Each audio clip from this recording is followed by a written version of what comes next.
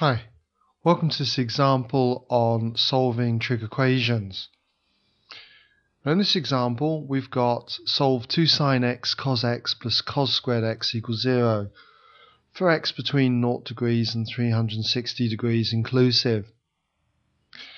Now whenever I get a trig equation that equals 0, one of the first things that I'll check is does it factorize because if it does Generally, we can put each of the factors equal to 0 and then solve the equation from there.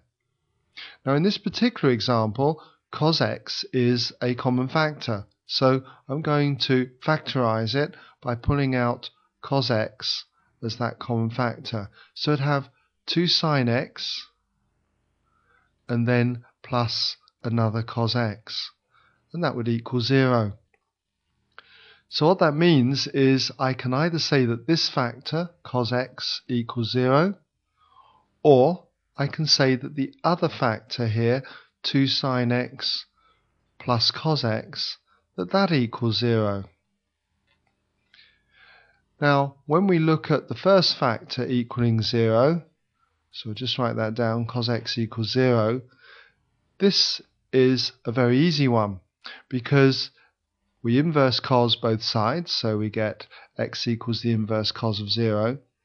It's an easy one because really we should know this answer. If you did this on a calculator, you'd find that you get x equals 90 degrees. Let's just write that down, that therefore x equals 90 degrees.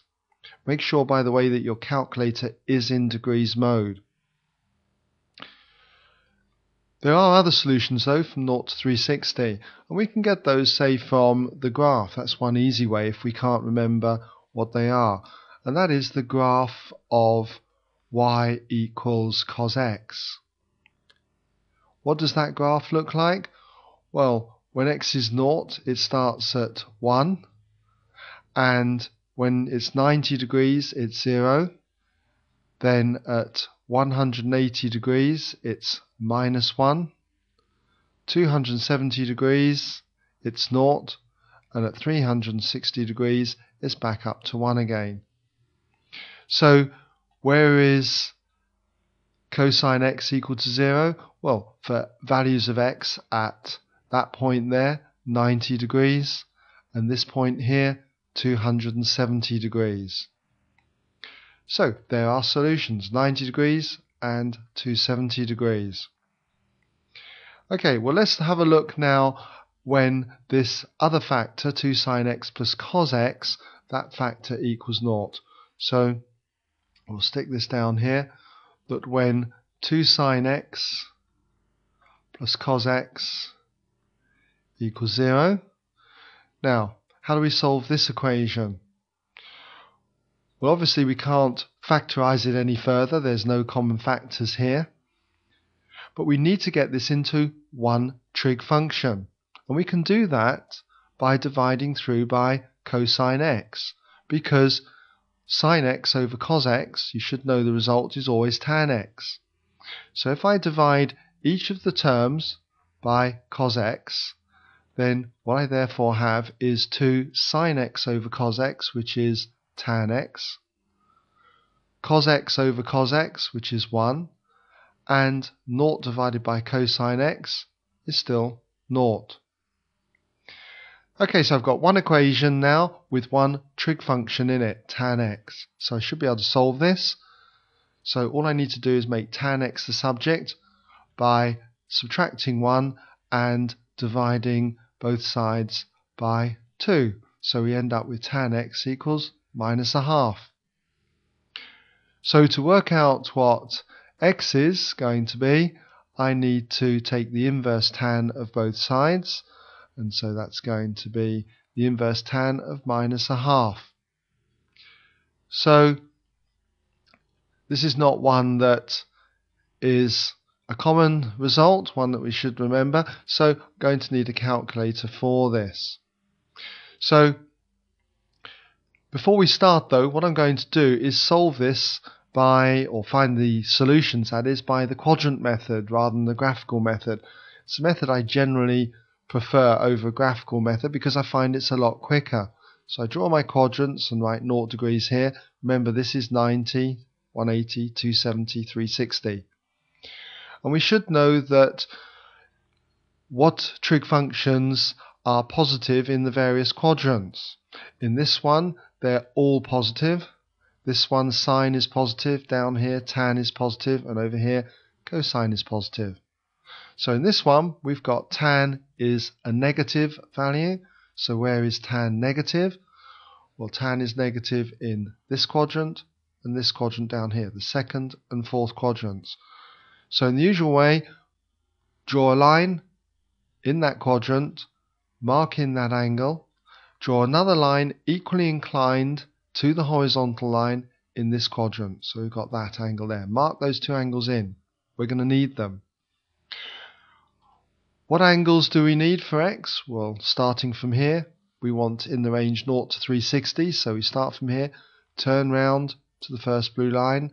So that's a possible solution, x. Start from here again and go all the way around to the next blue line. So all the way around to there. And that's another possible x. So we need to use the calculator now. And what should we expect the answer to be? Well, I could have used the calculator earlier, but I always think it's better if we can draw this diagram and anticipate what the answer is going to be. We have a better understanding then. And the calculator is programmed to give the smallest angle starting from here to one of these blue lines. So when we use the calculator, it's going to actually select this turn down here, a negative angle. So expect a negative result on your calculator. I'll show you, look. Here's a typical scientific calculator and if we press the inverse tan, shift tan on this one, of minus 0.5. Okay, what do we get? We get this, minus 26.56. So as expected, so it doesn't come as any surprise. So let's put that down over here. x equals minus 26.56 and so on. Okay, that's in degrees. Notice I haven't rounded up at all here, okay? So let's get rid of the calculator now. And uh, that means that on this quadrant diagram, this angle in here is, well, in theory it's minus 26.56, but I'm going to just take the positive value of that, okay? We'll be using this in a moment because that angle is 26.56 degrees, and so is this one over here. 26.56 and so on degrees. So if I want the red angle, all I've got to do is just do 180 degrees minus the 26.56. So what does that give us? Well, that will give us 153.43 and so on degrees. We need the green angle here, well that would be 360 degrees minus this 26.56 odd degrees. If you do that on your calculator with no rounding, you'll get 333.43 and so on degrees. So all we need to do now is just wind up the problem, summarize all our angles in ascending order. So what we've got is 90 degrees as the smallest angle from up here. And if we take the next angle, this one remember is out of range, but the next one is this one, and we'll round that up to one decimal place. Don't forget to say that you've rounded up to one decimal place. And then the next one up would be the 270 degrees up here. That doesn't need any rounding, it's an accurate answer, but this one does. 333.4 degrees and give that to one decimal place. The accuracy is up to you, or it might tell you what accuracy you need to do in the question. Anyway, I hope that you've been able to understand this particular method and can apply it to a lot of the questions that you do.